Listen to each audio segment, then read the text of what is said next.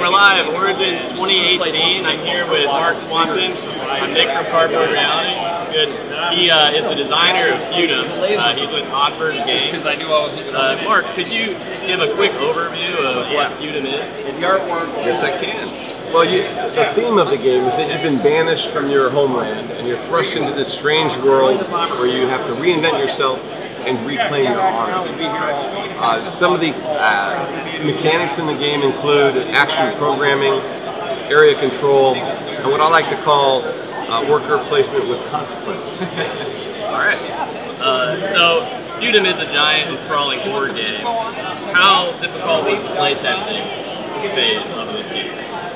Uh, I wouldn't call it difficult. I'd call it uh, fun, arduous but fun. Uh, I, I really wanted to emphasize playtesting because in order to create a game that's truly balanced with real multiple paths to victory, you have to make sure that there's not one you know way to win it. Because um, I think that you know when people reverse engineer a game, uh, they uh, it takes the mystery out of it. I remember when uh, some folks had discovered the right buildings to buy in Puerto Rico, and uh, there was like a way to optimize a win, and I thought, oh man, that's that kind of sucks because you know it takes some of the, the, the mystery out of the game. So I think that through you know many many months of playtesting, uh, there are really truly multiple paths to victory and not one single way to win. Very cool. So, speaking of different paths to victory, is there like a unique strategy that you've seen rise in development that you can talk about? Well, one of the things that we did in playtesting was I told people or I tasked people with trying to break the game. And so a lot of my friends are, are pretty, uh, they, they came up with some very unique things to do in the game, like uh, just completely go crazy farming and, and have, have you know four or five farms with lots of resources to try to deplete the uh, haversack of all the resources. Uh, so that was an interesting thing to watch, and I actually had to tweak some of the rules to prevent some weird things from happening. Um, but I think one of the most unique strategies, I think, is um, initially people tend to want to be the ruler of all the locations and have a giant uh, a kingdom and, and uh, be in all of the guilds. But you can also win this game by being a lowly serf and tending landscapes. So I think a landscape strategy is quite unique uh, because you know you're not ruling, you're kind of winning from underneath. Which I actually love that design choice. Uh, I feel like a lot of games like this are just going to focus on the combat and the area control, and the surface. The serf strategy is the complete opposite. Right? That's right. Very cool. So, uh, how was your professional experience in advertising and copywriting? How has that affected you? Or the publishing process? Sure, sure. Well, I think uh, you know advertising is certainly helpful, and, and me being a professor of advertising was helpful.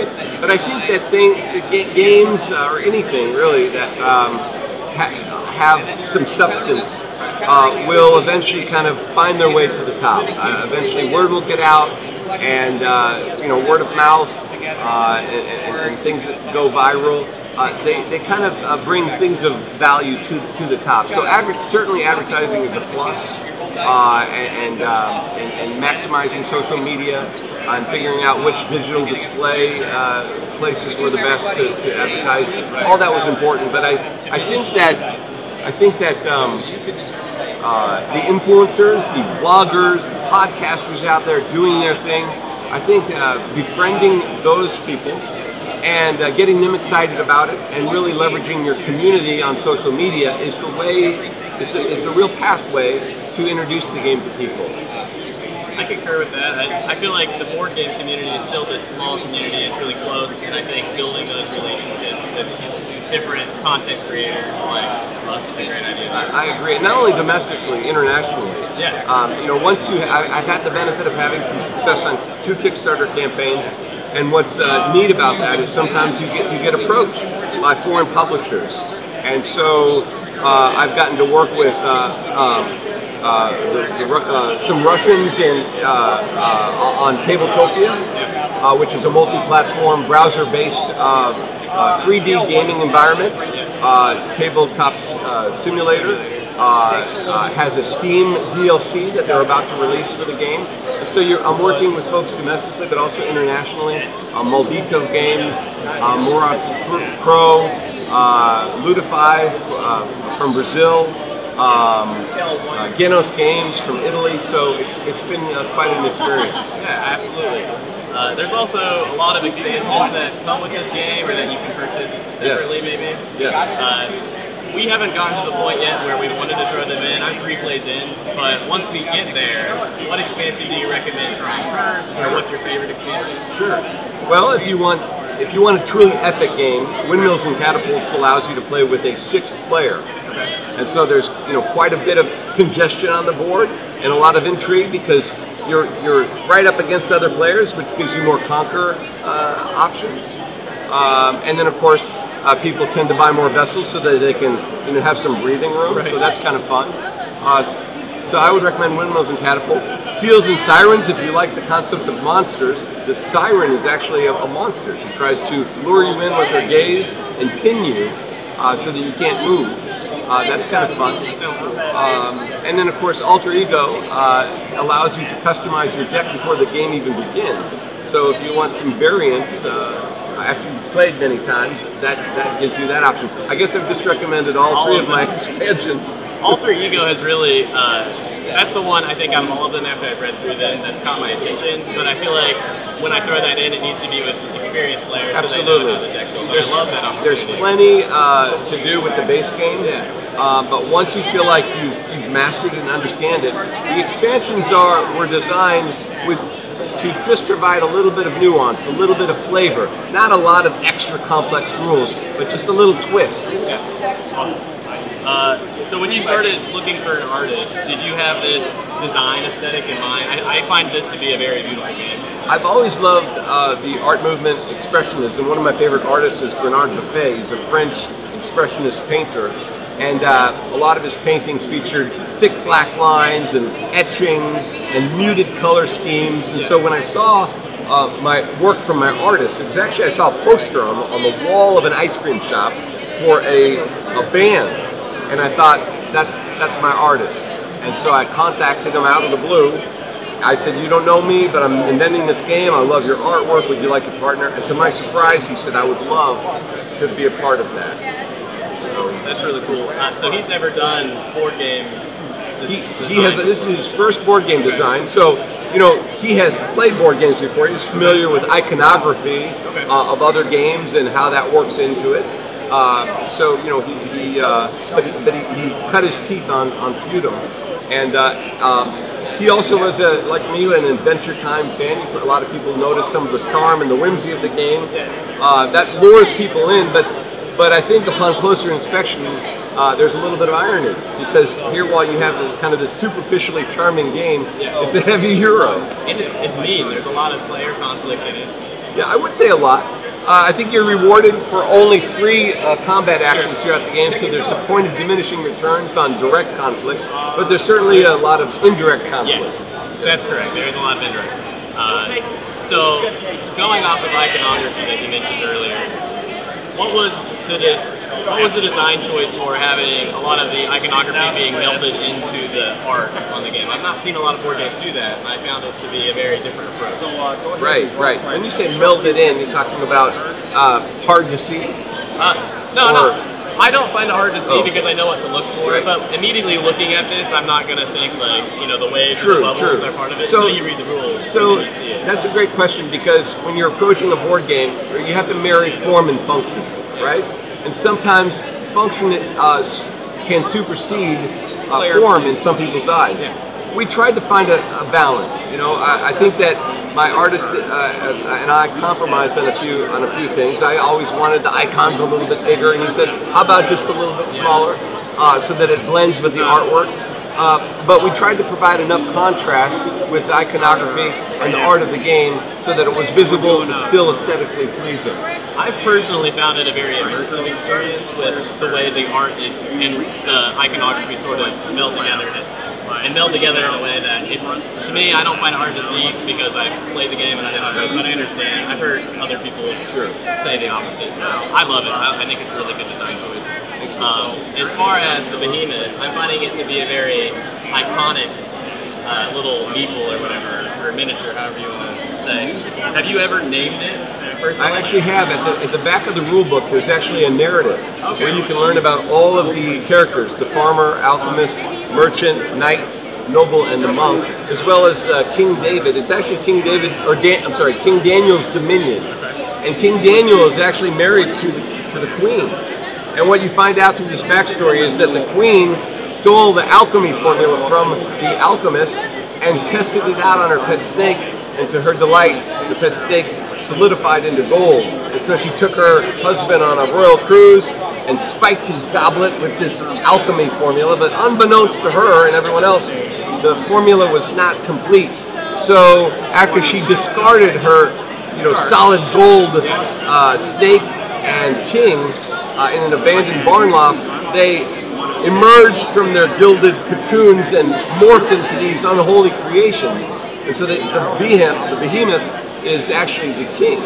Uh, and so it's actually kind of a tragic story. I love that. I'm actually going to have to go back and read it now. Yes. I think I remember seeing it in there when I got to the end of the rule book. I just haven't taken the time to read it yet. I, I love that you put the effort into the like creating this whole world. It, it speaks to the passion that you have for this game. Yes, absolutely. This is a, a passion project that has spanned uh, close to seven years, uh, five years in development, and, and uh, quite a long time in playtesting.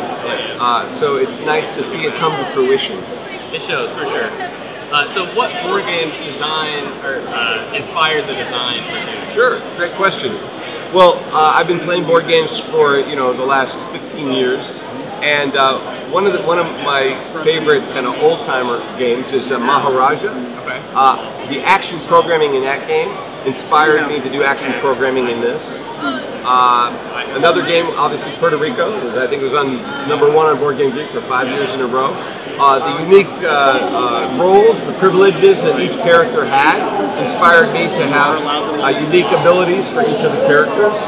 Uh, El Grande, if you remember that one, uh, was a great area control game with influence, where you're you know uh, vying for influence in various regions. That kind of plays into this a little bit. But like with any game, you know, you want to try to introduce a uh, unique mechanic. And in this game, there is an economic ecosystem, a symbiotic relationship between guild members. Uh, where there's actually a working economy that I've introduced that I think is fairly unique.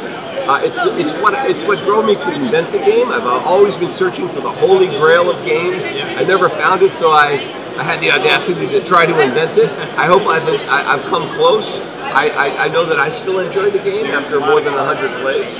Uh, so there definitely is uh, new things to uncover and new strategies to explore. Yeah, absolutely. So, speaking of the guilds, it's definitely this breathing, living and breathing economy where I've noticed in my plays, and I, I'm sure this is how it's meant to be designed.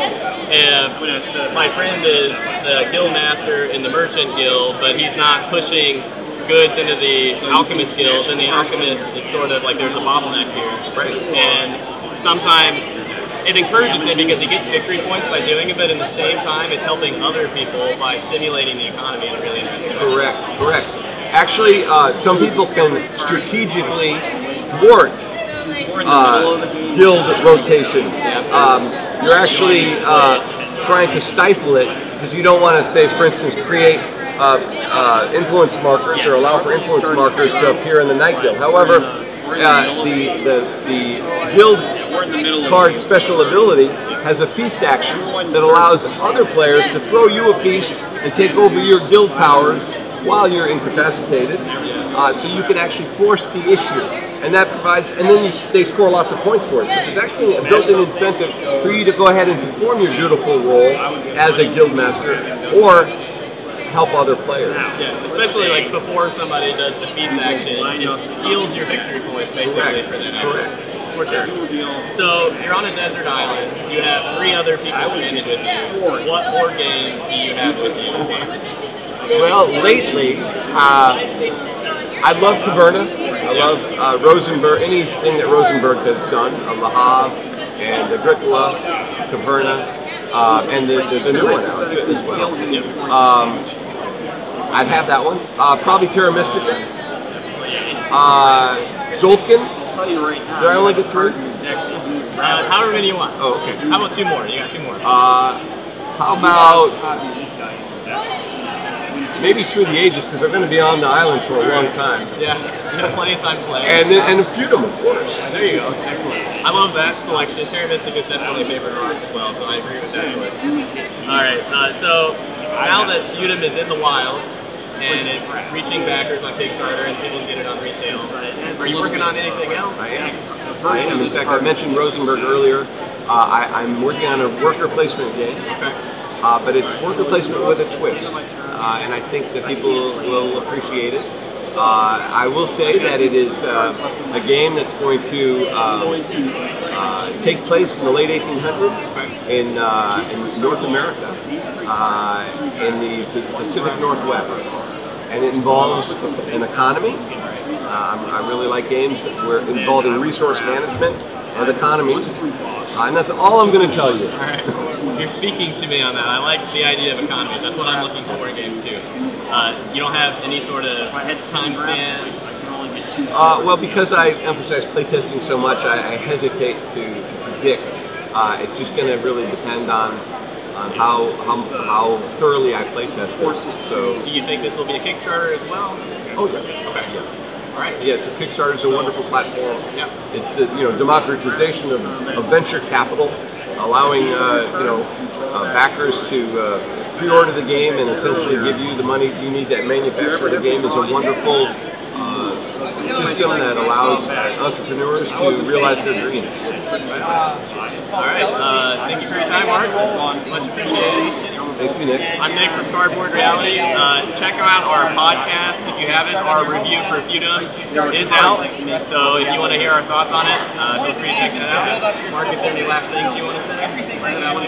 Uh, go Argentina, go Messi, go Iceland. How about that? All right, sounds good. Thanks, Mark.